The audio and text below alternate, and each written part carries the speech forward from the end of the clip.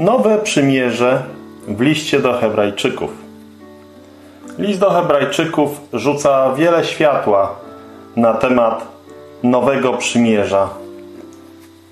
Przed przyjrzeniem się danym fragmentom pomocne może być wyszczególnienie różnych wyrażeń użytych w liście do Hebrajczyków w odniesieniu do nowego przymierza.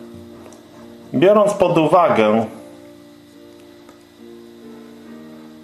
że w oryginale dwa różne słowa są używane dla nowego, można znaleźć sześć różnych określeń dla nowego przymierza, gdzie słowo przymierze jest użyte.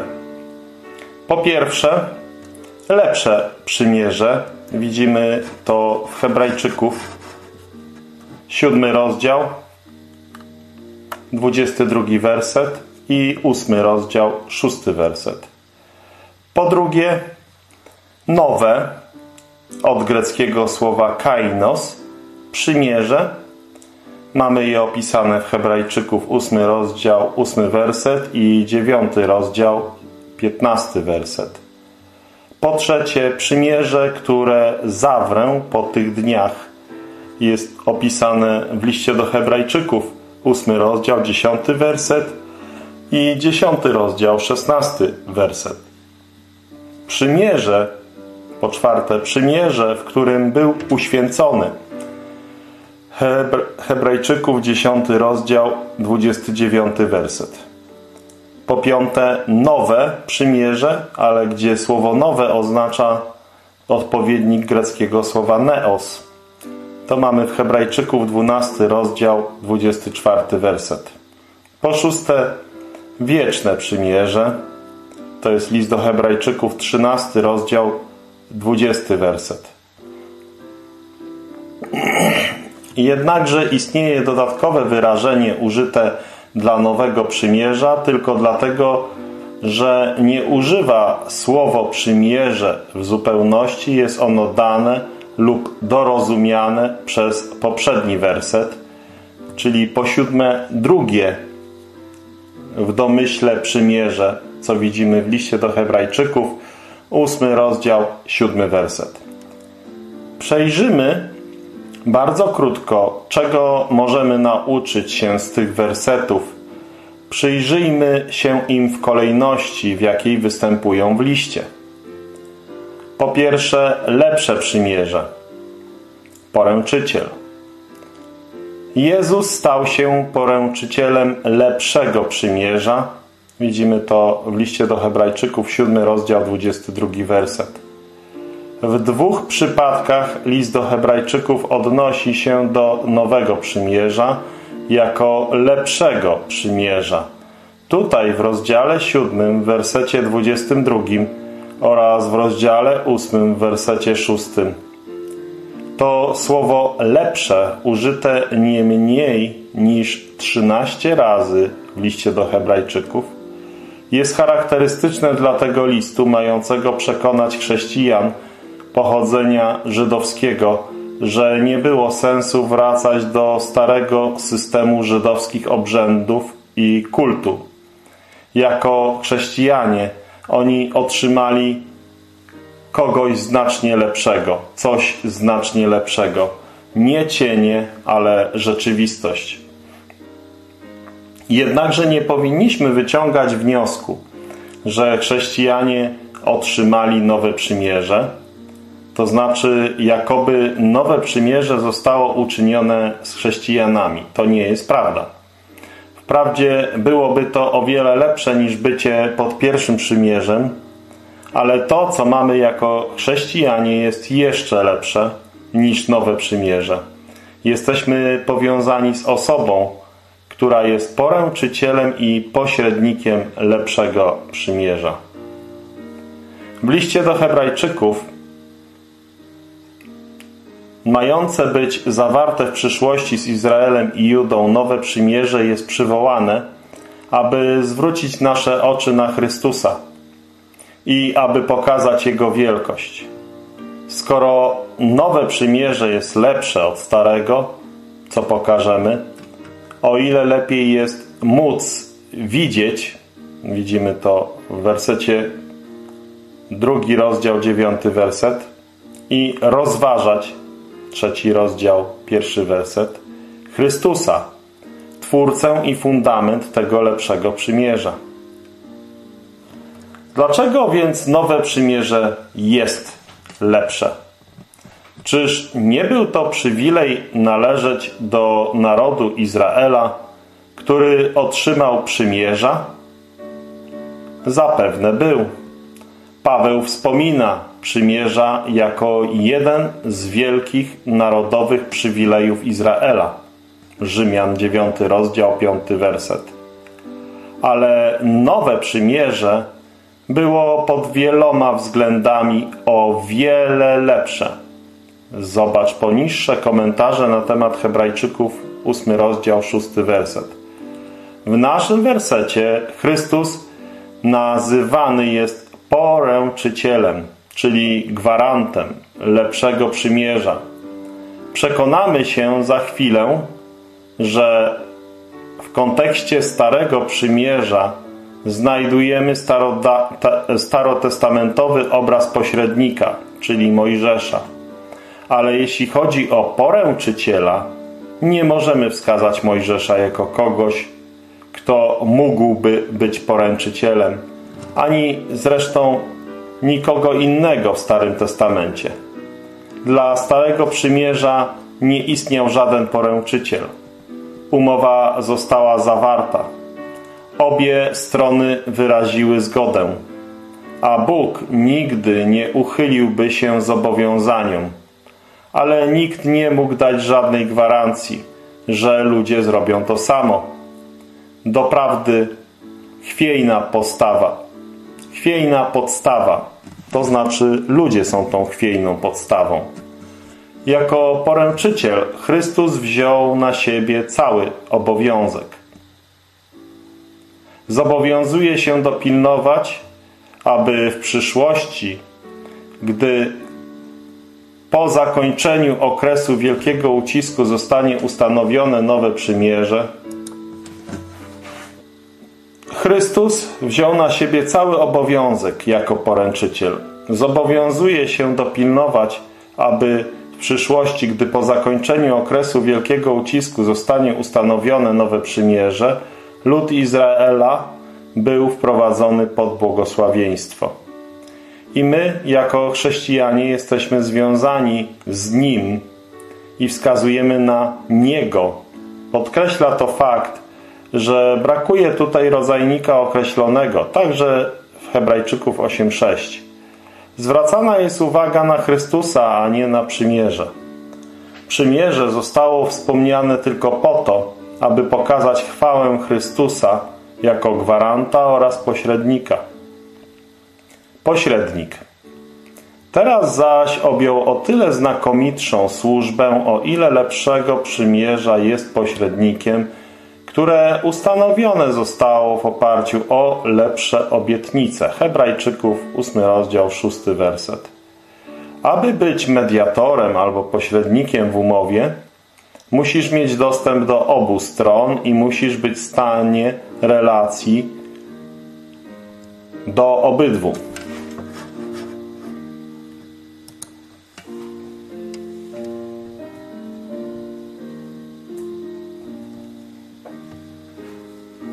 Tutaj znajdujemy obraz w Starym Testamencie. Mojżesz był pośrednikiem Starego Przymierza. Podczas czytania Księgi Wyjścia 24, albo inaczej drugiej Mojżeszowej 24,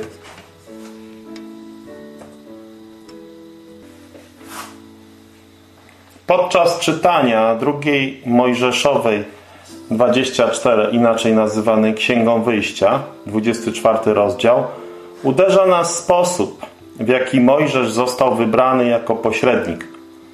Tylko on mógł zbliżyć się do Boga.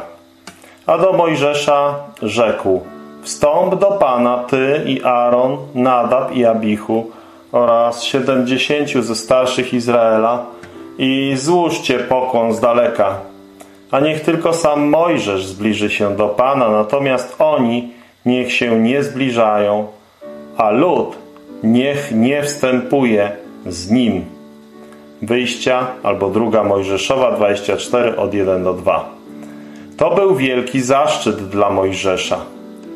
Tylko Mojżesz miał taki dostęp do Boga i tylko przez niego naród Izraela mógł otrzymać tamto przymierze. Dobrzy Żydzi z dumą podkreślają, że byli uczniami Mojżesza. Ewangelia Jana 9 rozdział 28 werset. Ale Chrystus jest pośrednikiem lepszego przymierza, które jest oparte na lepszych obietnicach. Te obietnice są lepsze, ponieważ są bezwarunkowe i zawierają błogosławieństwo w postaci przebaczenia, które ma kluczowe znaczenie dla lepszego przymierza. Znamy tego jednego, który stał się pośrednikiem między świętym Bogiem, a tymi, którzy nie tylko mogli upaść, ale już poprzednio upadli. Ten jeden większy jest niż Mojżesz. Tylko on mógł ustanowić to nowe przymierze z domami Izraela i Judy. Ten jeden, Jezus Chrystus, był gotowy i zdolny położyć fundament pod błogosławieństwa tego przyszłego nowego przymierza z Izraelem i Judą. Ten jeden zrobił to na krzyżu. Istnieje kolejny uderzający powód wyższości nowego przymierza, a jest on podany nieco niżej, co zobaczymy wkrótce patrząc na werset siódmy. Drugie przymierze. Gdyby bowiem pierwsze przymierze było bez braków, nie szukano by miejsca na drugie. Hebrajczyków, ósmy rozdział, siódmy werset. Co za cudownie rozbrajający argument. Sama potrzeba drugiego lub nowego przymierza pokazała niedoskonałość pierwszego lub starego. Każdy, kto zna życie i przesłanie Jeremiasza, cytowane w liście do Hebrajczyków, ósmy rozdział, ósmy werset. Oto idą dni, mówi Pan, a zawrę z domem Izraela i z domem Judy przymierze nowe. Zrozumie to. I Jeremiasz, płaczący prorok, musiał przekazać trudne przesłanie. Lud Izraela był nieposłuszny. Utraci ziemię, Babilończycy przyjdą i pojmą ich w niewolę, a wszystko dlatego, że byli niewierni pod Starym Przymierzem. Niezgodnie z przymierzem, które zawarłem z ich ojcami, które złamali. Jeremiasza, 31 rozdział, 32 werset. To właśnie złamanie pierwszego przymierza dało okazję drugiemu. Ale jak to jest możliwe, że stare przymierze dane przez Boga nie było bez braków? Brak wynika z grzechu i słabości jednej ze stron przymierza, czyli Izraela. Podobnie jak w przypadku całego prawa, nie był to problem z tym, co Bóg dał. Prawo było dobre. Rzymian 7 rozdział 12 werset to potwierdza ale ze słabości ciała. Rzymian, 8 rozdział, 3 werset. Zauważyliśmy poprzednio, że Bóg rzeczywiście ma prawo zmieniać reguły postępowania z ludźmi. Dał Izraelowi jedno przymierze oparte na jednej zasadzie odpowiedzialność. System z powodu Izraela zawiódł i w następstwie tego Bóg da Izraelowi inne, nowe przymierze oparte na innej zasadzie łaska. Każdy, kto ma wątpliwości co do, co do prawdy, że istnieją różne dyspensacje, zrobi dobrze, aby to rozważyć. Rzeczywiście znosi pierwsze, aby ustanowić drugie. Hebrajczyków 10 rozdział 9 werset. Ten fragment jednoznacznie udowadnia, skoro znosi pierwsze, i ustanawia drugie, w przyszłości ustanowi drugie, to już z tego wynikają co najmniej dwie dyspensacje w Piśmie Świętym. a jest ich więcej. Możemy być pewni, że Bóg nie był zaskoczony. On zna koniec od samego początku i wiedział, że stare zawiedzie. Dlaczego więc nie dał nowego od razu? Odpowiedź jest prosta. Wiedział, ale my nie wiedzieliśmy. Czy kiedykolwiek uwierzylibyśmy w całkowitą niezdolność człowieka do stawienia się przed Bogiem na podstawie odpowiedzialności, gdybyśmy nie czytali relacji o porażkach człowieka w poprzednich dyspensacjach? O tym, że nowe było spowodowane porażką starego, bardzo silnie podkreślono w następnym wersecie.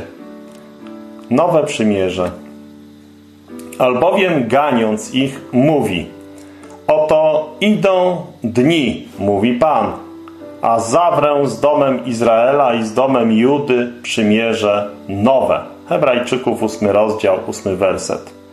Nowe przymierze zostało zawarte w wyniku upadku starego. Czytając proroka Jeremiasza przekonasz się, że było wiele powodów do uznania, że Izrael zawiódł. Patrz rozdziały od 2 do 29 Księgi Jeremiasza. I że to ta nikczemna porażka doprowadziła do ogłoszenia nowego przymierza.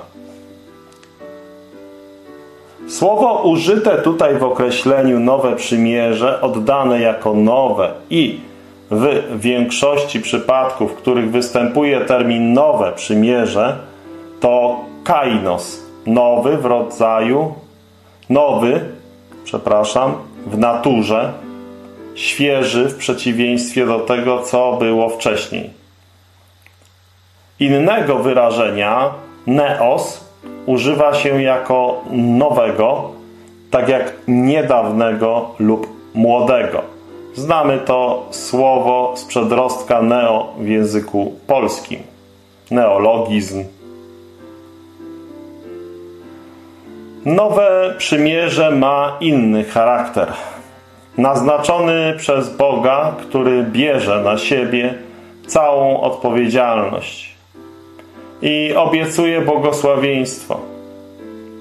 Pięknie wychodzi to z ja będę w tym wersecie oraz w całej części zapowiadającej nowe przymierze w Jeremiasza, rozdziały 30 do 32. Werset Hebrajczyków, ósmy rozdział, ósmy werset.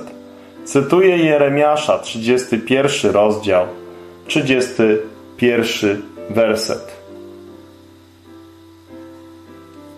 Oto idą dni. Mówi Pan że zawrę z domem izraelskim i z domem judzkim nowe przymierze.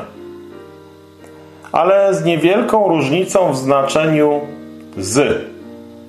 W Jeremiasza 31 oznacza ono z, a w Hebrajczyków 8.8 znaczy bardziej w odniesieniu do domu Izraela. Kiedy Duch Święty modyfikuje cytat ze Starego Testamentu, zawsze jest to bardzo pouczające. A więc tutaj mówiąc w odniesieniu do wyjaśniono, że Izrael jest beneficjentem nowego przymierza, a nie jego stroną w sensie zobowiązania go. Zobacz także Hebrajczyków 10 rozdział 16 werset. Słowo Boże kładzie nacisk na to, że nowe przymierze będzie w przyszłości i że nowe przymierze dotyczy domu Izraela, a nie Kościoła i domu Judy, Żydów, a nie pogan. Ten ziemski lud, dom Izraela i dom Judy jest tematem nowego przymierza. Pod starym przymierzem utracili ziemię, pod nowym otrzymają ją z powrotem i wiele więcej. Więc jakie dokładnie są błogosławieństwa tego nowego przymierza. Aby uzyskać pełen obraz, należy przeczytać Jeremiasza, 30 rozdział, 32 Okazuje się, że nowe przymierze będzie się wiązało z licznymi błogosławieństwami związanymi z ziemią, jej posiadaniem w pokoju i tym podobne. Ale w szczególności są cztery błogosławieństwa, które są wyróżnione w Jeremiasza 31:31 31 i cytowane tutaj w Hebrajczyków 8, wersety od 10 do 12. Po pierwsze, prawo Boże w sercu. Podając moje prawa do ich umysłu, wypiszę je także w ich sercach. Po drugie, relacja między Bogiem a Jego ludem. I będę dla nich jako ich Bóg, a oni będą dla mnie jako moi ludzie. Po trzecie, wiedza o Bogu. Nie będą uczyć każdego swego współobywatela i każdego brata, mówiąc Poznajcie Pana, bo wszyscy poznają mnie w sobie. Nie będzie już potrzeby wzajemnego uczenia się w celu obiektywnego poznania Boga, w sensie wiedzy o Nim, greckie ginosko, ponieważ wszyscy poznają Go wewnętrznie w swoim sercu i intuicji, eido. Czwarte błogosławieństwo, przebaczenie. Będę miłosierny wobec ich niesprawiedliwości, a ich grzechów i bezprawia już nigdy nie będę pamiętał. Dla Izraela te błogosławieństwa będą oznaczały całkowite odwrócenie ich obecnej sytuacji, w której byli, odkąd stali się Loammi w czasie niewoli babilońskiej, o czym czytamy w Ozeasza, drugi rozdział, 23 werset i w Ozeasza, pierwszy rozdział, dziewiąty werset. Z drugiej strony, jako chrześcijanie pochodzący z pogan i z Żydów, chociaż nowe przymierze jeszcze jest przyszłością i w odniesieniu do Izraela mamy podobne cztery błogosławieństwa, niezależnie od tych przewidzianych dla Izraela i Judy. Ale one są w znacznie głębszym sensie niż te przewidziane w przyszłości dla ziemskiego ludu izraelskiego. Po pierwsze, Chrystus jest zapisany w naszych sercach. 2 Koryntian 3:3, Rzymian 12:2. Po drugie, jesteśmy ludem dla Jego imienia. Dzieje apostolskie 15:14. I w relacji z Bogiem jako naszym Ojcem. Izrael nie ma takiej relacji. Po trzecie, znamy Boga, ale jako Ojca. Pierwszy Jana, drugi rozdział, trzynasty werset. Po czwarte, otrzymaliśmy przebaczenie grzechów, ale jako znany fakt ze względu na Jego imię. Pierwszy Jana, drugi rozdział, dwunasty werset. Na podstawie ukończonego dzieła Chrystusa dokonanego na krzyżu Golgoty.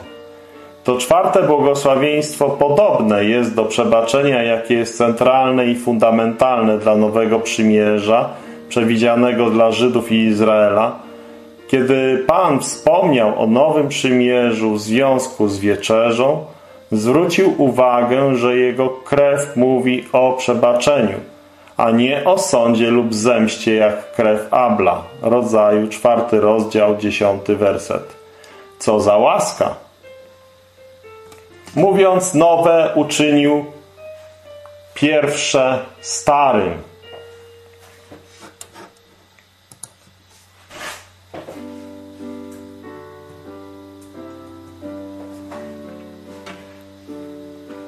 Bo to, co się starzeje i niszczeje, prawie zanika. Hebrajczyków 8 rozdział 13 werset.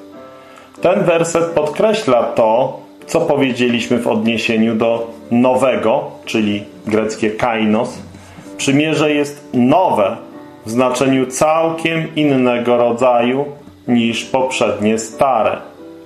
Stare zostało zepsute i nie jest już uważane za wiążące ani ważne. Hebrajczyków 8 rozdział 9 werset. Jeszcze raz zauważmy to wyraźne oświadczenie o zmianie dyspensacyjnej. Przymierze to nie testament. I dlatego jest on pośrednikiem nowego przymierza, ażeby, gdy poniesiona została śmierć dla odkupienia przestępstw popełnionych za pierwszego przymierza, ci, którzy są powołani, otrzymali obiecane dziedzictwo wieczne. Gdzie bowiem jest testament, tam musi być stwierdzona śmierć tego, który go sporządził. Hebrajczyków 9 rozdział 15 16 werset.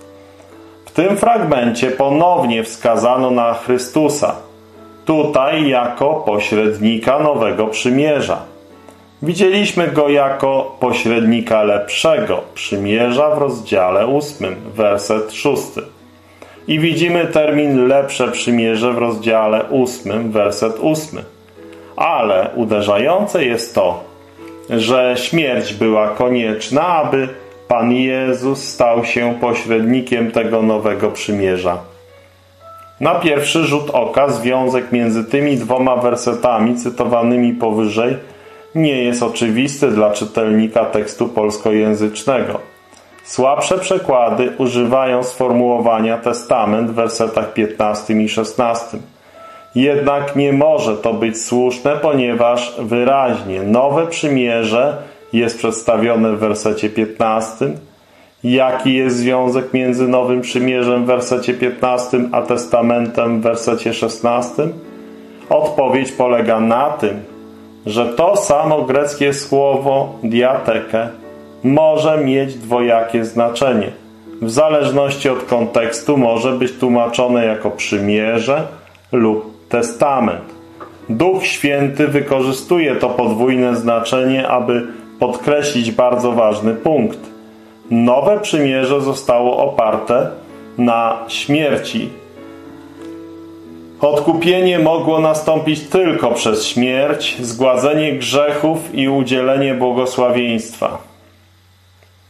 To musiało rzeczywiście zadziwić Jeremiasza, jego słuchaczy i czytelników. Odkąd wypowiedział słowa Jeremiasza 31, 31 do 34.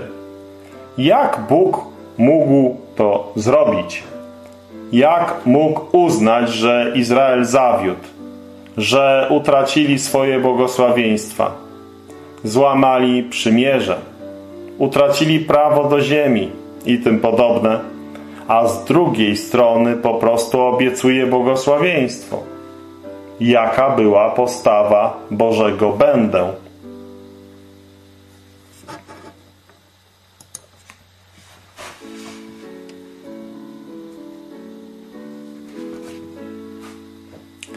Szczególnie jaka była podstawa Jego wybaczę i ich grzechu więcej nie będę pamiętał. Jak Bóg mógł być sprawiedliwy, a jednak nie pamiętać więcej? Wieki później na to pytanie odpowiedział sam Pan, mówiąc, to jest krew moja, krew nowego przymierza, miał właśnie dokonać dzieła odkupienia i tym samym położyć fundament pod nowe przymierze, własną krew. W języku naszego wersetu jest to Jego śmierć. Drugie znaczenie słowa diatekę ma na celu wykazanie, że śmierć jest konieczna. I to nie tylko śmierć, ale śmierć osoby, która udziela błogosławieństwa. Bez tego testament nie miałby żadnej ważności, nie byłby wykonalny. I żadna korzyść nie mogłaby zostać przeniesiona. I w tym sensie rzeczywistość przewyższa nawet podany przez Boga obraz. W normalnym biegu wydarzeń śmierć jest nieunikniona, a wejście w życie testamentu jest konsekwencją tej śmierci ale nasz błogosławiony Pan z drugiej strony przeszedł śmierć i następnie zmartwychwstał, aby móc udzielić błogosławieństwa. Śmierć Chrystusa jest końcem Starego Przymierza. Człowiek nie jest już sprawdzany przez Boga na podstawie ludzkiej odpowiedzialności, a jednocześnie potwierdza przyszłe ustanowienie nowego. Pierwsze, stare przymierze przyniosło jedynie wykroczenia. Nowe przymierze przyniesie w przyszłości dla Izraela i Judy odkupienie. W ramach pierwszego dziedzictwo doczesne Izraela i Judy zostało utracone i zgubione, ale pośrednik nowego poniósł śmierć. Tak więc wieczne dziedzictwo może być dane Judzie i Izraelowi. Dlatego i pierwsze przymierze nie zostało zapoczątkowane bez rozlewu krwi. Gdy bowiem Mojżesz ogłosił całemu ludowi wszystkie ustawy zakonu, wziął krew cielców i kozłów wraz z wodą, wełną szkarłatną i hyzopem i pokropił zarówno samą księgę, jak i cały lud, mówiąc to jest krew przymierza, które Bóg dla was ustanowił. Hebrajczyków 9 rozdział 18 do 20 wersetu. Słowo dlatego z wersetu 18 pokazuje, że ta ogólna zasada śmierć jest wymagana do ważności testamentu dotyczyła również Starego Przymierza z Izraelem, które również zostało zapoczątkowane przelaną krwią. Jest to wyraźna analogia pomiędzy dwoma przymierzami, ale równocześnie jakże wielki kontrast. Krew pierwszego przymierza świadczyła, że każdy, kto je złamie, zasługiwałby na śmierć. Przydatne stanowisko zapewnia Edward Dennett, bo życie ciała jest we krwi, czwarta Mojżeszowa 17:11. A co za tym idzie, konsekwentnie krew i jej przelanie reprezentuje śmierć, a śmierć nigdy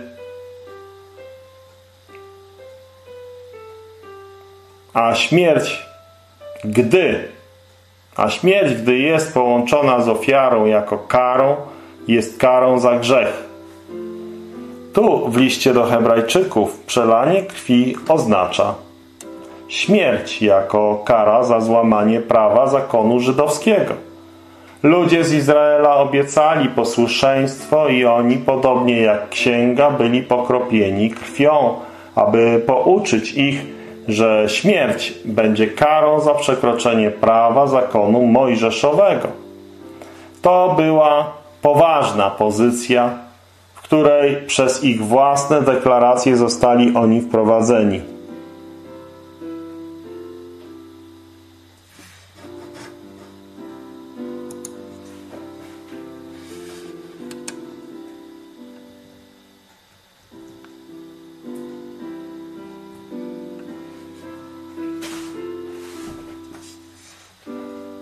Oni zobowiązali się przestrzegać całości prawa zakonu mojżeszowego pod karą śmierci za najmniejsze przekroczenie tego prawa.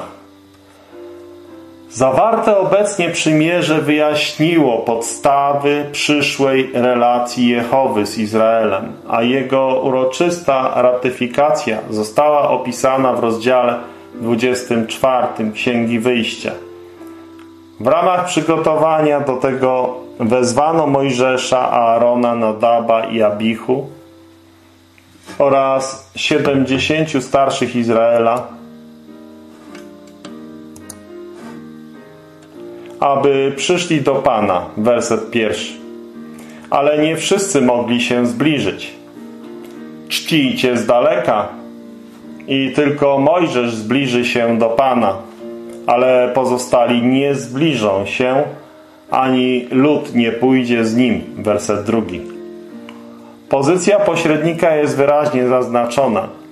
Najwyższy zaszczyt i przywilej nadany Mojżeszowi przez Pana w jego łasce. Mojżesz nie był lepszy od innych i nie zasługiwał bardziej na dostęp do Boga niż jego towarzysze. To tylko łaska obdarzyła go tym szczególnym miejscem. Wszystko to ma znaczenie w tej dyspensacji. Stanowi doskonały kontrast w porównaniu ze stanowiskiem wierzących po śmierci, w, po śmierci Chrystusa. Stanowi doskonały kontrast w porównaniu ze stanowiskiem wierzących po śmierci Chrystusa, którzy mają bezpośredni przystęp do Boga w Chrystusie Jezusie. Po śmierci i zmartwychwstaniu Chrystusa już nie jest powiedziane czcijcie z daleka, ale zbliżmy się. Hebrajczyków 10 rozdział 22 werset. Krew Chrystusa ma taką skuteczność, że oczyszcza wierzącego z wszelkiego grzechu, aby nie miał już więcej żadnej świadomości grzechów. Wierzący taki jest udoskonalony raz na zawsze dzięki jednej doskonałej ofierze doskonałego Chrystusa. I dlatego zasłona w świątyni została rozdarta w momencie ukrzyżowania Pana Jezusa Chrystusa na świadectwo tego faktu, że Bóg został uwielbiony w śmierci Chrystusa. Wierzący w Chrystusa ma od tamtej pory doskonały i niczym nieskrępowany stały dostęp do Najświętszego Świętych. Tam może czcić Boga w duchu i prawdzie. Tam może radować się w Bogu przez naszego Pana Jezusa Chrystusa, przez którego otrzymaliśmy pojednanie. Rzymian 5 rozdział 11 werset. Każdy prawdziwy wierzący w Jezusa nie ma żadnej najmniejszej plamki przed wszechwiedzącym okiem świętego Boga i może stać w świętej śmiałości przed tronem boskiej świętości. Cóż za kontrast między prawem a łaską. Prawo bowiem zawierając cień przyszłych dóbr, a nie sam obraz rzeczy, nie może nigdy przez te same ofiary które co roku są nieustannie składane, uczynić doskonałymi tych, którzy przychodzą. Hebrajczyków 10 rozdział, pierwszy werset.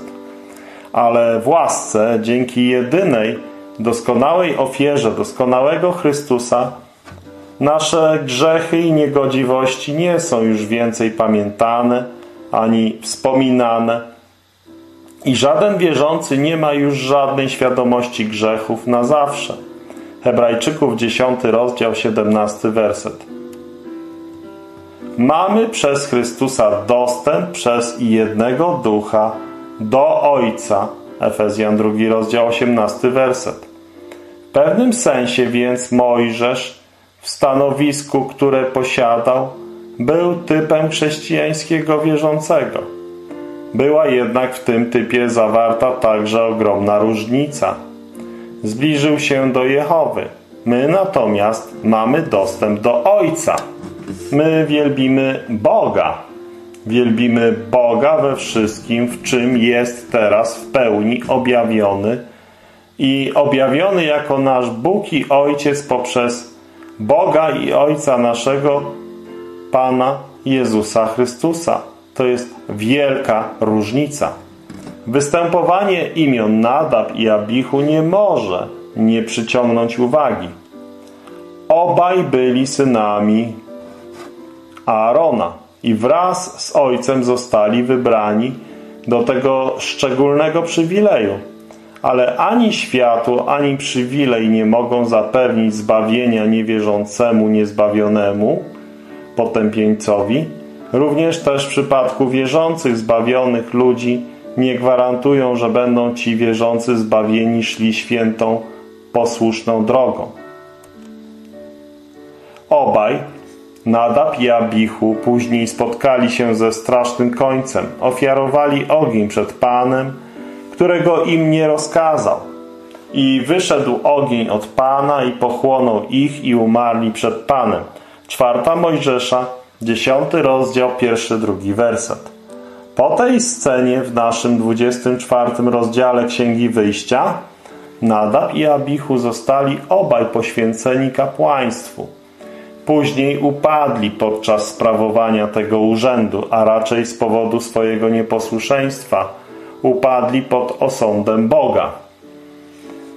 Niech ostrzeżenie zanurzy się głęboko w naszych sercach, że urząd i specjalne przywileje są tak samo bezsilne aby ocalić, a także lekcja, że Bóg nie może przyjąć niczego naszy, w naszym uwielbieniu, co nie jest oddane Jemu w pełnym posłuszeństwie i zależności od głosu Pana. Ofiara musi być złożona według Bożych wskazań bez ludzkich modyfikacji, a serce musi być podporządkowane Jego woli. Następnie Mojżesz wstąpił do ludu i powiedział im wszystkie słowa Pana i wszystkie sądy i cały lud odpowiedział jednym głosem i rzekł wszystkie słowa, które Pan powiedział, my będziemy czynić. Druga Mojżesza, 24 rozdział, trzeci werset. Pomimo przerażenia ich serc na znak obecności Pana i majestatu na Synaju, pozostawali oni w całkowitej niewiedzy o własnej bezsilności, aby spełnić Jego święte roszczenia. Głupcy! Można by przypuszczać, że ich oczy były otwarte – ale wprawdzie powtarzamy, że byli nieświadomi siebie i Boga. Dlatego po raz kolejny wyrażają się jako chętni do złożenia obietnicy posłuszeństwa jako warunku błogosławieństwa. Bóg przemówił, a oni zgodzili się, a teraz porozumienie musi zostać potwierdzone i ratyfikowane. Wrócił Mojżesz i obwieścił ludowi wszystkie słowa Pana i wszystkie jego zlecenia. Wtedy cały lud odpowiedział jednogłośnie. Wszystkie słowa, jakie powiedział Pan, wypełnimy. Spisał więc Mojżesz wszystkie słowa Pana. Nazajutrz wcześnie rano zbudował ołtarz u stóp góry i postawił dwanaście stel stosownie do liczby dwunastu pokoleń Izraela. Potem polecił młodzieńcom izraelskim złożyć Panu ofiarę całopalną i ofiarę biesiadną z ścielców. Możesz zaś, Mojżesz zaś wziął połowę krwi, Mojżesz zaś wziął połowę krwi i wylał ją do czar, a drugą połową krwi skropił ołtarz. Wtedy wziął księgę przymierza i czytał ją głośno ludowi i oświadczyli. Wszystko, co powiedział Pan, uczynimy i będziemy posłuszni. Mojżesz wziął krew i pokropił nią lud.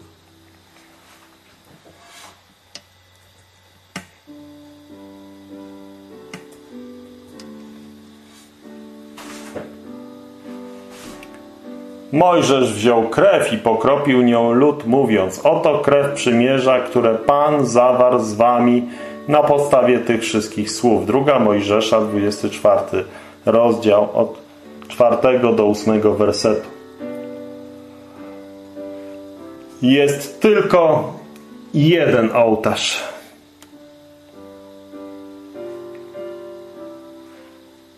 I w nim jest 12 filarów. Jeden ołtarz, ponieważ to było dla Boga. 12 filarów, ponieważ wszystkie 12 plemion musi być reprezentowanych w ofiarach, które mają być złożone. Kapłaństwo jeszcze nie zostało wyznaczone. Młodzieńcy wykonywali kapłańską służbę tego dnia. Byli to prawdopodobnie pierworodni, których Pan, jak widzieliśmy w rozdziale 13, domagał się specjalnie dla siebie. Później rzeczywiście plemię Lewiego zostało wybrane na ich miejsce i wyznaczone do służby dla Pana. Tak jest powiedziane i przywiedziesz Lewitów przed namiot zgromadzenia, a wezwiesz całe zgromadzenie synów izraelskich i postawisz Lewitów przed Panem i włożą synowie izraelscy ręce swe na Lewitów.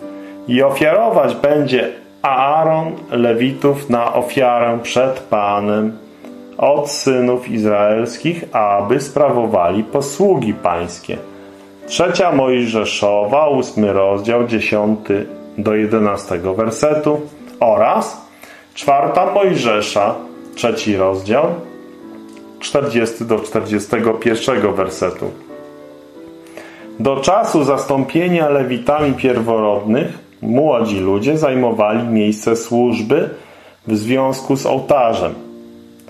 Będą tylko, co należy zauważyć, składać ofiary całopalne i pokojowe z podanego im wcześniej powodu, że dopóki prawo nie podniosło formalnie kwestii grzechu, ofiary za grzech nie mają miejsca. Ofiary były dla Boga, choć zarówno ofiary, jak i kapłan mieli swój udział w ofiarach pokoju we wspólnocie z Bogiem. Trzecia Mojżeszowa, trzeci rozdział. Ale szczególne znaczenie obrzędów tego dnia można znaleźć w kropieniu krwi. Połową pokropiono ołtarz. A czytając Księgę Przymierza w obecności całego ludu,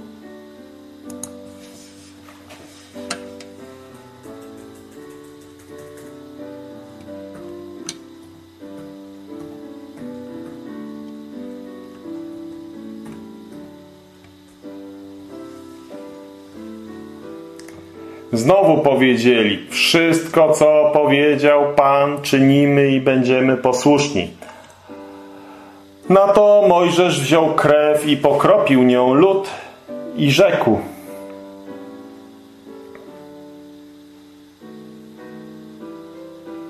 Oto krew przymierza, które Pan uczynił z wami, uczynił z wami odnośnie tych słów.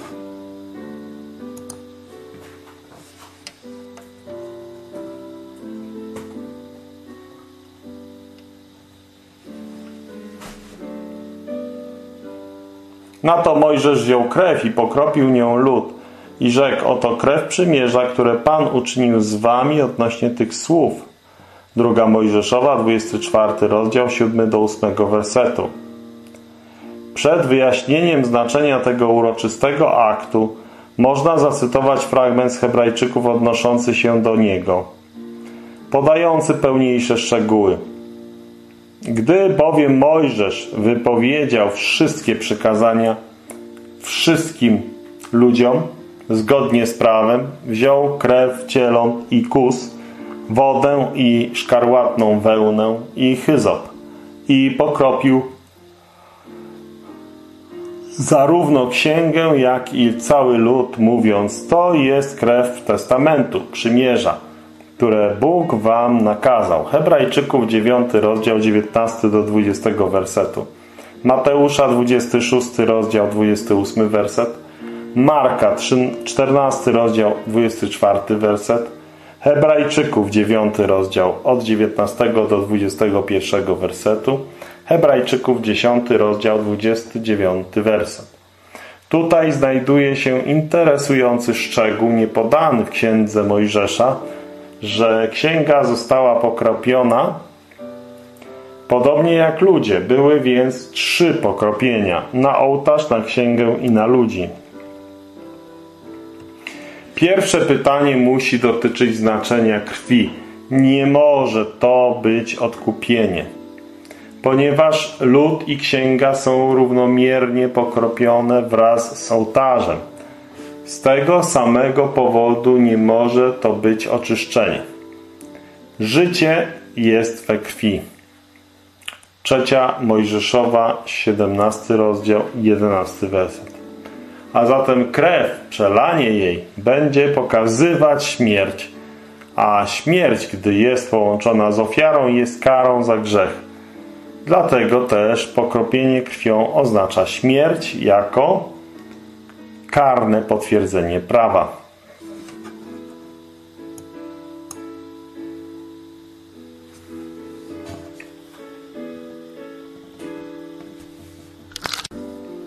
Ludzie Izraela obiecali posłuszeństwo, a następnie oni, podobnie jak księga, zostali pokropieni, aby nauczać że śmierć powinna być karą za grzech. Takie było poważne stanowisko, na które zostali wprowadzeni za ich własną zgodą. Zobowiązali się do posłuszeństwa pod karą śmierci.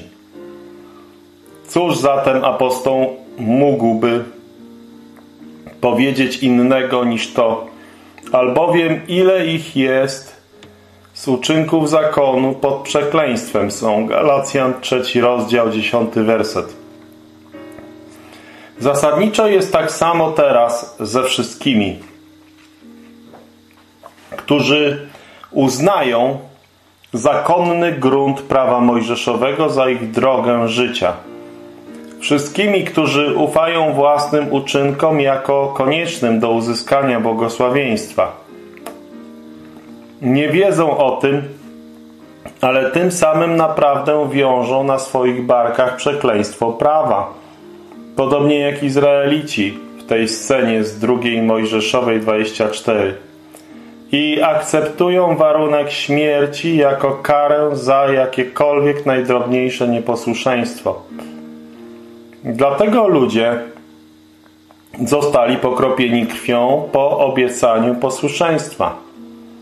Może nam to pomóc w porównywaniu wyrażeń zawartych w liście Piotra które niewątpliwie odnoszą się częściowo do tej sprawy. Pisząc do nieznajomych rozproszonych po całym poncie Galacji, Kapadocji, Azji i Bytynii, to znaczy do chrześcijan wywodzących się przed ich nawróceniem z żydostwa, rozproszonych w tych regionach, opisuje się ich jako wybranych zgodnie z wiedzą Boga Ojca, poprzez uświęcenie ducha do posłuszeństwa i pokropienia krwią Jezusa. 1 Piotra, pierwszy rozdział, drugi werset. Ten porządek jest bardzo znaczący, choć napotyka trudności z powodu pominięcia aluzji do narodu żydowskiego. Jako naród zostali wybrani przez suwerenne wezwanie Boga. Uświęceni byli rytuałami odnoszącymi się do ich fizycznych ciał, oddzieleni od reszty nieżydowskich narodów, Efezjan 2 rozdział 14 werset, i oddzieleni dla Boga, druga Mojżeszowa, 19 rozdział 10 werset. Uświęceni, co więcej, do posłuszeństwa. Była to rzecz zaproponowana i jak widzieliśmy, zaakceptowana przez lud, a następnie zostali pokropieni krwią. Przymierze Boże z nimi zostało zapieczętowane uroczystym zatwierdzeniem kary śmierci za jakiekolwiek najdrobniejsze odstępstwo lub nieposłuszeństwo. Określenia zatem dokładnie odpowiadają sobie wzajemnie. Ale jak wielka także jest między nimi różnica w ich znaczeniu. Wierzący są wybrani zgodnie z uprzednim wyborem i przedwiecznym poznaniem Boga Ojca, który nas przeznaczył ku przysposobieniu za synów przez Jezusa Chrystusa dla siebie samego według upodobania woli swojej. Efezjan pierwszy rozdział, piąty werset. Dlatego nie byli chrześcijanie w odróżnieniu od Izraela przedmiotem po prostu ziemskiego wybrania i ziemskiego błogosławieństwa, ale przedmiotem wiecznego wyboru w celu czerpania radości z bliskiej relacji dzieci w miejscu doskonałej bliskości przyjętych w umiłowanym. Chrześcijanie zostali uświęceni nie przez zewnętrzne i cielesne rytuały i obrzędy, ale przez działanie Ducha Bożego w nowym narodzeniu, na, mocu, na mocy których są absolutnie oddzieleni dla Boga, już nie są ze świata, tak jak Chrystus nie jest ze świata, i zostali uświęceni na podstawie posłuszeństwa Jezusa Chrystusa. Oba te terminy, posłuszeństwo i pokropienie, należą bez wątpienia do Jezusa Chrystusa. To jest posłuszeństwo Jezusa Chrystusa, a także krew Jezusa Chrystusa. To znaczy, aby byli posłuszni tak, jak Chrystus był zawsze we wszystkim posłuszny. Jego kroczenie przez ten świat i Jego posłuszny i, i Jego postępowanie, Jego kroczenie przez ten świat i Jego postępowanie są normalną zasadą, standardem dla każdego chrześcijanina, to znaczy każdego wierzącego czasu łaski. Pierwszy Jana, drugi rozdział, szósty werset. Ponadto zostali uświęceni nie przez rozlanie krwi, które świadczyło o śmierci za każdy grzech,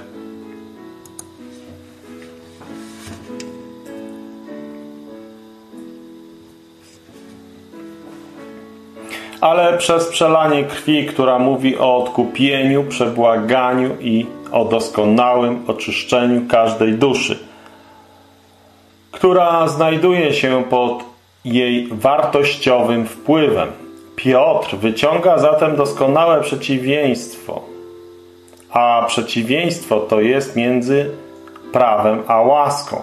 Albowiem łaską przez Mojżesza jest dany, a łaska i prawda przez Jezusa Chrystusa stała się. Pierwszy rozdział Ewangelii Jana, 17 werset.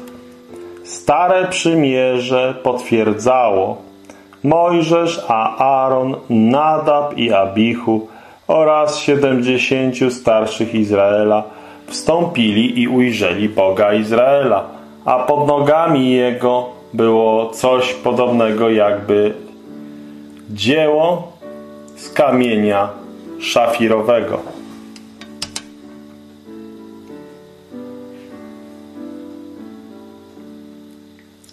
I jako ciało niebiańskie w jego jaśniejącej światłości niedostępnej.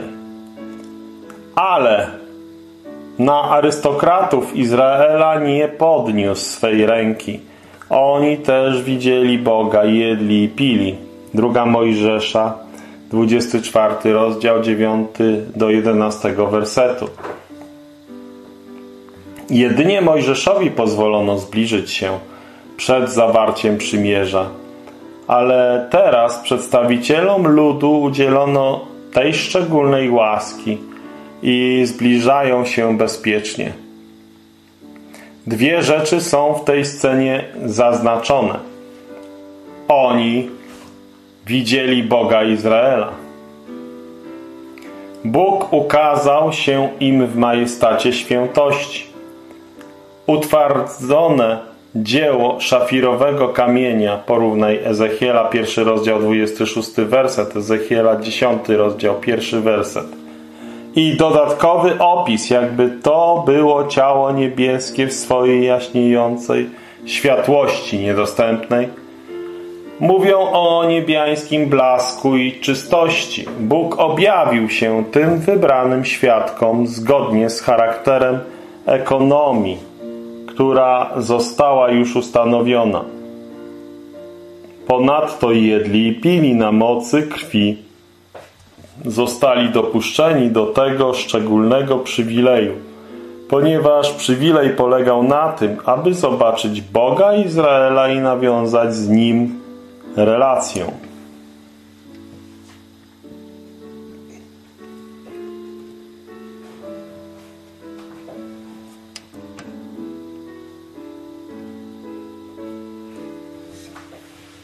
Chociaż sam charakter objawienia, o którym mówił objawiony, mówi raczej o odległości i oddzieleniu niż o bliskości.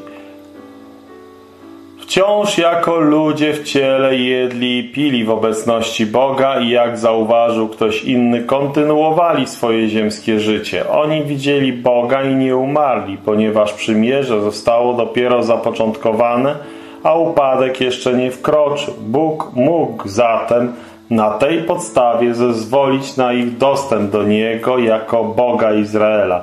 Mojżesz jest ponownie oddzielony od Aarona, Nadapa i Abichu i starszych, wraca na swoje miejsce pośrednika, aby otrzymać kamienne tablice i tym podobne, które napisał Bóg. Ożywione wyrocznie, tak jak opisuje je Szczepan, Dzieje Apostolskie, 7 rozdział 38 werset. W tym celu Mojżesz zostaje powołany do Pana na górze. Druga Mojżeszowa 24:12. Zostawiając starszych i wyznaczając Aarona i Hura na czele. Idzie w górę i przez 40 dni i przez 40 nocy był sam na sam z Bogiem. W tym czasie chwała Pańska ukazała się, a 91 przebywało na górze Synaj i widok chwały Pańskiej był jak porażający ogień na szczycie góry w oczach dzieci Izraela. Druga Mojżeszowa, 24 rozdział, 15 do 18 wersetu. Nie była to chwała Jego łaski, ale chwała Jego świętości. Jak widać w symbolu porażającego ognia, chwała Pana w Jego związku z Izraelem na podstawie prawa, co widzimy w drugim liście do Koryntian, trzeci werset, taka chwała, że żaden grzesznik nie odważyłby się zbliżyć, ponieważ świętości i grzechu nie można połączyć, ale teraz dzięki łasce Boga na podstawie dokonanego doskonałego pojednania wierzący chrześcijanie mogą nie tylko zbliżyć się i być w domu Ojca w chwale niebiańskiej, ale również z odsłoniętą twarzą patrzącą na chwałę Pana, przemieniającą się w ten sam obraz z chwały w chwałę przez Ducha Pańskiego. Drugi Koryntian, trzeci rozdział, osiemnasty werset. Podchodzimy odważnie i z zachwytem spoglądamy na chwałę, ponieważ każdy promień, który widzimy w obliczu uwielbionego Chrystusa, jest dowodem na to, że nasze grzechy zostały usunięte, a odkupienie się dokonało. Krew nowego przymierza mówi nam, że pośrednik zapłacił cenę. Jego krew została przelana. Przymierze, które zawrę z nimi po tych dniach. Rozdział 10 zapowiada także nowe przymierze, tym razem pod hasłem przymierze, które ja ustanowię dla nich po tych dniach. Takie zaś jest przymierze, jakie zawrę z nimi po upływie owych dni, mówi Pan, prawa moje włożę w ich serca i na umysłach ich wypiszę je. Dodaję, a grzechów ich i ich nieprawości nie wspomnę więcej. Hebrajczyków 10 rozdział 16 i 17 werset. Wyrażenie użyte tutaj dla nowego przymierza pokazuje, że jest to przyszłe przymierze oraz inicjatywa i działanie są po stronie Boga. Wskazują na to słowa przymierze, które zawrę z nimi po tych dniach. Kiedy Jeremiasz wypowiedział te słowa, przymierze było jeszcze w odległej przyszłości czasach, gdy były cytowane w liście do Hebrajczyków, była to wciąż jeszcze przyszłość. Ale do tego czasu położono fundament pod to nowe przymierze, a mianowicie ofiarę Chrystusa. I o to tutaj chodzi. Błogosławieństwo przebaczenia mogło być udzielone tylko dlatego, że nastąpiła doskonała ofiara.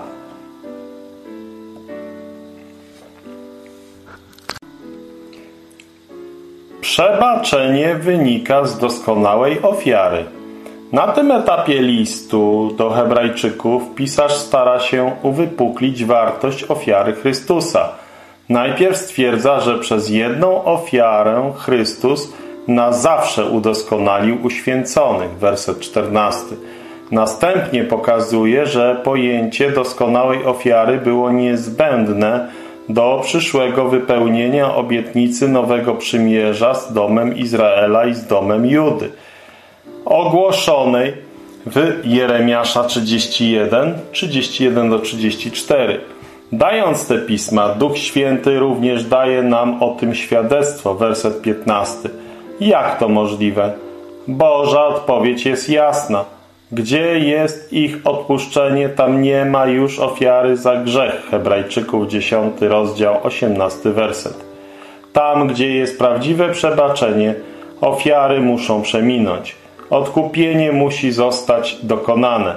Dlatego jest to argument, że skoro przyszłe nowe przymierze z domem Izraela i domem Judy zapewnia Żydom pełne wybaczenie, musi przed tym być doskonała ofiara. Dlatego nie byłoby sensu przynoszenia większej liczby ofiar za grzech. Co więcej, byłoby to lekceważenie doskonałej ofiary, która już miała miejsce. Dlatego ofiary za grzech musiały zostać zaniechane i przeminąć. A co za tym idzie? Stare przymierze nie będzie mogło dłużej być w mocy, gdy nastanie nowe przymierze. Zachęta. To toruje drogę do podsumowania i nawoływania do następnego wersetu. Mając więc, bracia, ufność, iż przez krew Jezusa mamy wstęp do świętego świętych, wejdźmy ze szczerym sercem w pełni wiary. Hebrajczyków 10 rozdział od 19 do 22 wersetu. Obietnica przebaczenia w ramach nowego przymierza dla Izraela i Judy mówi nam, że dzieło Chrystusa jest doskonałe, a to pozwala zbliżać się do Boga w uwielbieniu bez lęku. Ale znajdziemy również poważne ostrzeżenie w związku z tym samym przymierzem. Patrz poniżej werset 29. Przymierze, na mocy którego został uświęcony. O ileż sroższej kary sądzicie, godzien będzie ten, kto Syna Bożego podeptał, i zbezcześcił krew przymierza, przez którą został uświęcony i znieważył ducha łaski. Hebrajczyków 10 rozdział 29 werset. Po rozważeniu wartości ofiarnej śmierci Chrystusa pisarz ogłasza uroczyste ostrzeżenie. Jeśli ktoś wie o krwi Chrystusa, która ma tak wielką wartość, że Bóg może na niej znaleźć wszystkie błogosławieństwa nowego przymierza w łasce i gardzi nią lub uważa ją za powszechną lub nic specjalnego, to znaczy, że jeśli ktoś odwraca się od Chrystusa jako drogi zbawienia, to dla takiej osoby pozostanie tylko sprawiedliwy sąd i ogień, który na wieki wieków będzie ogarniał przeciwników. Kiedy mówi się, że taka osoba została uświęcona krwią przymierza, musimy pamiętać o prawdziwym znaczeniu terminu uświęcony, czyli oddzielony. Oraz o tym, że list został skierowany do Hebrajczyków. Izraelici jako członkowie ziemskiego ludu Bożego zostali oddzieleni od innych narodów. Uświęcenie, oddzielenie też wynika z tego rozróżnienia od innych nieżydowskich narodów, że jedynie z domem Izraela i z domem Judy Bóg zawsze nowe przymierze. Przymierze będzie zawarte z domem Izraela i z domem Judy. Przywilej ten miał charakter widoczny zewnętrznie i był związany z fizycznym narodzeniem się jako Izraelity i nie ma nic wspólnego z posiadaniem lub nieposiadaniem zbawczej wiary przez uświęconego.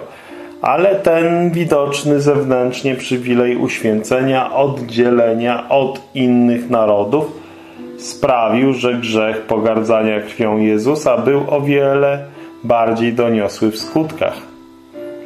Nowe przymierze, nowe w sensie neos. Kiedy nowe przymierze jest ponownie wspomniane w rozdziale 12, nie mówi, że mamy dojść do nowego przymierza, ale że mamy przyjść do Jezusa. pośrednika nowego przymierza. 12 rozdział, 24 werset.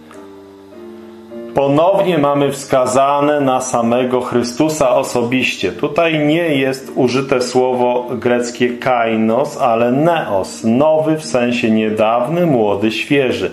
Tu nie chodzi o kontrast ze starością Starego Przymierza, ale o fakt, że przyszłe nowe przymierze, jakie Bóg zawrze z Izraelem i Judą, pozostanie zawsze nowe i nigdy nie straci swojej świeżości charakterystycznej dla nowych rzeczy.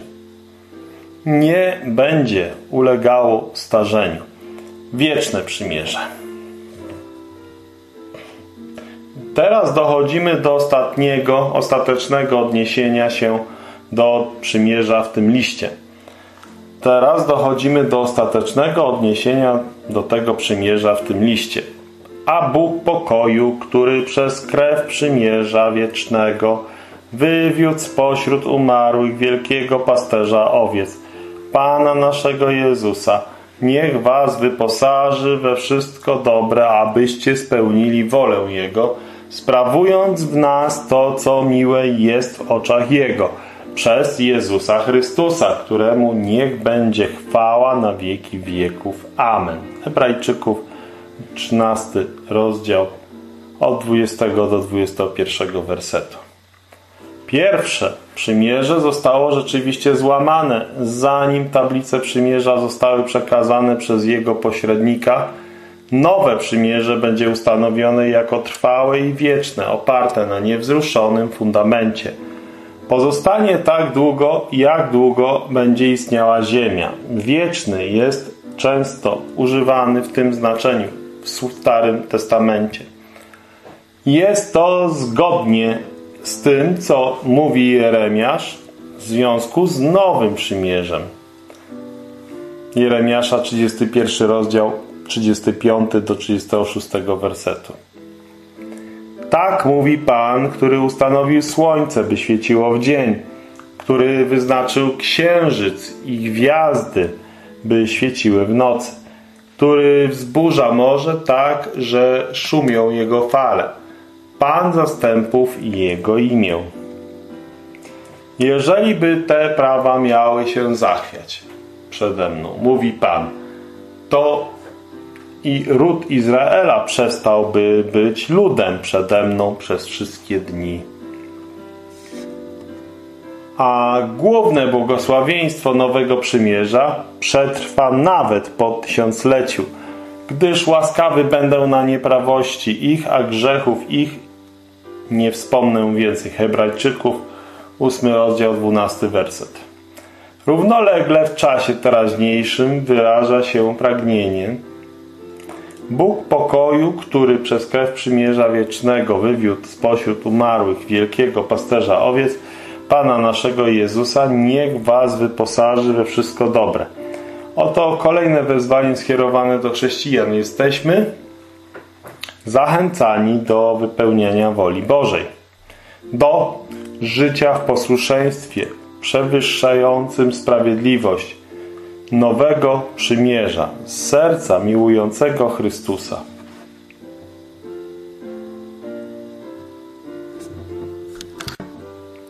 Streszczenie, albo lepiej podsumowanie.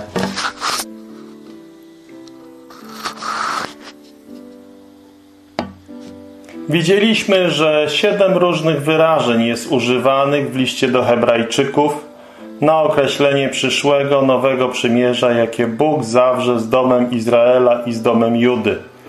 Każde z nich przekazuje nieco inny aspekt lub odcień znaczenia.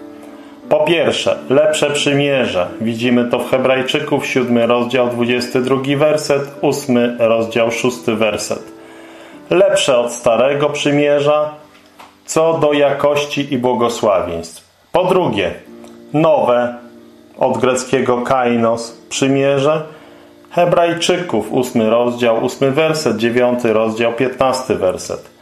Nowe w znaczeniu, że jest o innym charakterze niż wcześniejsze. Po trzecie, przymierze, które zawrę po tych dniach, Hebrajczyków 8 rozdział 10 werset i 10 rozdział 16 werset. Przyszłe przymierze, które może być ustanowione dopiero po tych dniach, czyli po skończonych 70 tygodniach lat Daniela, opisanych w dziewiątym rozdziale Księgi Daniela. Po czwarte, przymierze, które uświęca. Widzimy to w Hebrajczyków, 10 rozdział, 29 werset. Przymierze, które uświęca, odróżnia Izraelitów od, i Żydów jako tych, którzy zajmują odmienną pozycję od nieżydowskich narodów, co pociąga za sobą znacznie wyższą odpowiedzialność Izraelitów i Żydów. Po piąte, nowe od greckiego słowa neos, przymierze. Hebrajczyków, 12 rozdział, 24 werset. Nowe w znaczeniu świeże, nigdy nie starzejące się, ani nigdy nie tracące na jakości. Po szóste, wieczne przymierze, czyli to, co widzimy w Hebrajczyków 13 rozdział 20 werset. Czas trwania przymierza do czasu, jak będzie trwać ziemia. Przymierza, którego nie da się złamać ani naruszyć. Po siódme, drugie przymierze. Hebrajczyków 8 rozdział, 7 werset. Nowe przymierze potwierdza upadek pierwszego przymierza.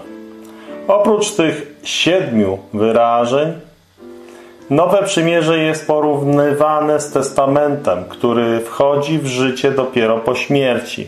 Hebrajczyków 9 rozdział 16 werset. Nie policzyliśmy tego jako osobnego oznaczenia, ponieważ jest to raczej porównanie niż oznaczenie i to samo słowo w języku greckim ale zapewnia ósmy aspekt nowego przymierza. Opiera się na śmierci Chrystusa i tylko na tej podstawie można cieszyć się Jego błogosławieństwem.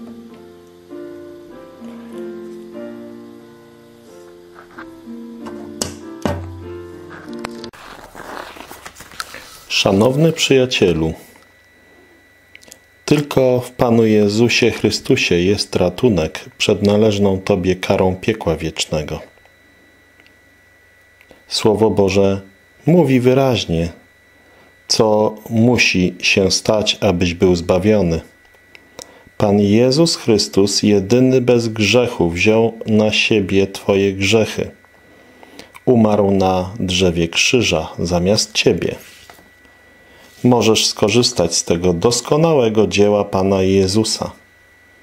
W jaki sposób? Uwierz w Pana Jezusa Chrystusa, a będziesz zbawiony.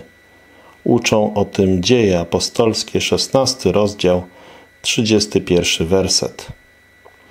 Jeśli chcesz rozpocząć korespondencyjny kurs biblijny lub otrzymać bezpłatnie Nowy Testament Pana Jezusa Chrystusa, napisz do nas, wyślij SMS-a lub zadzwoń. Czytaj.biblię, tak zwana małpa, onet.pl Telefon 739 089 088 Możesz też napisać adres pocztowy Czytaj Biblię skrytka 31 63 500 Ostrzeszów. Kanał na YouTubie. Czytaj Biblię Ostrzeszów. Serdecznie zapraszamy do uwierzenia Panu Jezusowi Chrystusowi. Wszelkie pytania jakie zadasz postaramy się jak najbardziej odpowiedzieć Tobie według Słowa Bożego. Jeśli akceptujesz Słowo Boże jako podstawę, na której oczekujesz odpowiedzi, zapraszamy do kontaktu. Jesteś serdecznie zaproszony do tego, żeby zamówić u nas bezpłatny Nowy Testament Pana Jezusa Chrystusa albo Biblię albo chrześcijańską literaturę. bezpłatnie i bez wypominania. Nie troszcz się o koszty, dlatego że jeśli nie będziemy w stanie Ci ich wysłać, to po prostu poinformujemy, że nie damy rady. Ale jeśli damy radę, to dostaniesz je bezpłatnie. Serdecznie zapraszamy do kontaktu z Bogiem.